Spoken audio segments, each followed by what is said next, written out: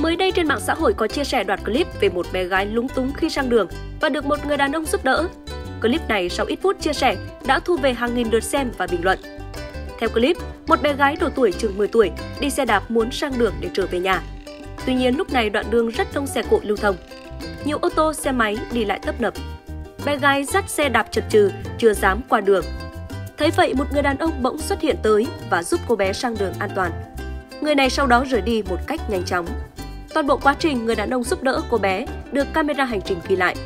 Mặc dù hành động giúp đỡ của người đàn ông là một việc nhỏ, nhưng cư dân mạng đều dành lời khen cho anh.